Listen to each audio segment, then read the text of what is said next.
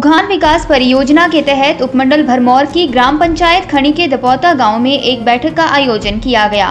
बैठक में Bharatiya Samriddhi finance and consultancy services संस्था के टीम लीडर एस चतुर्वेदी मुख्य रूप से मौजूद रहे। उन्होंने बैठक को संबोधित करते हुए कहा कि यह परियोजना केंद्र प्रायोजित है और प्रदेश के छह जिलों में चल रही है।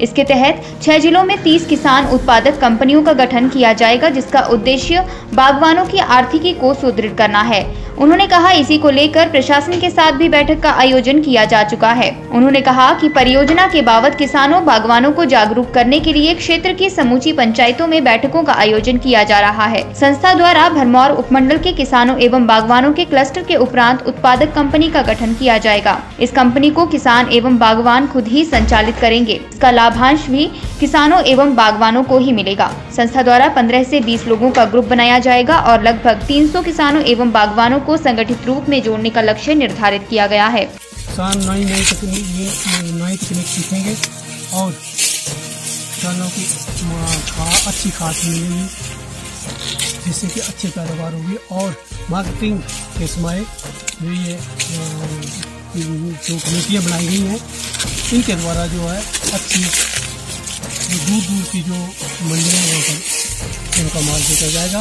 और उससे अच्छे भाव किसानों को मिलेंगे। क्योंकि किसानों की आर्थिक चीज़ों को समृद्ध होगी। हिमाचल दस्तक, वेब टीवी के लिए भरमौर से विनोद ठाकुर।